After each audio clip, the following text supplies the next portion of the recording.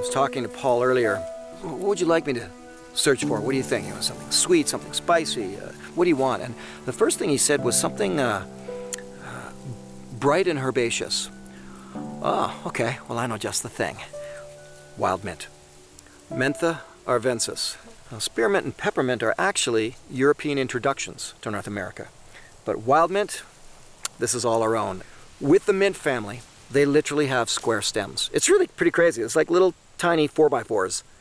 And the stem is super square. Hard not to recognize it. That's scratching my head on something here. This one seems different than the others, but it almost seems identical at the same time. And then I, I put the leaves together, and that's not even the same leaf. And then I, I, I crushed it and I'm smelling it. Oh yeah, that, that smells like wild mint. But I want to try something. Uh, without any power of suggestion, Kevin, take a take a just take some leaves and crush them up and smell them for me, would you? Tell me what you smell. Oh, it's got a fresh spiciness to it. It's not bad. It's got the square stem. It's got the leaf formation. What the problem was?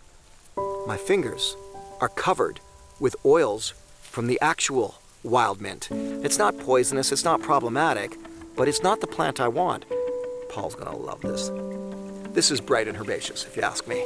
Uh, you know what? In fact, this stuff is so good. Take Robert Rogers' knife that he lent me and get just a couple more. Speaking of identifying plants, there is a plant just behind me here, just over there. One of the most dangerous, most poisonous plants, not only in Canada, but in the world.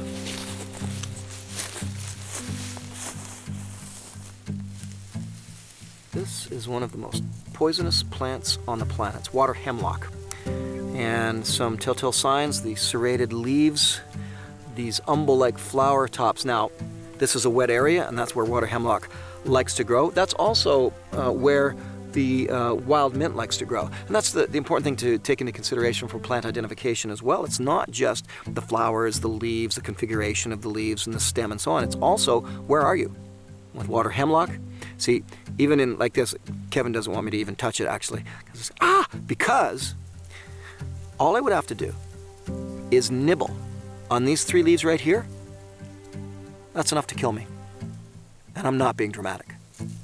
It's literally enough to kill me just to nibble a bit on that plant.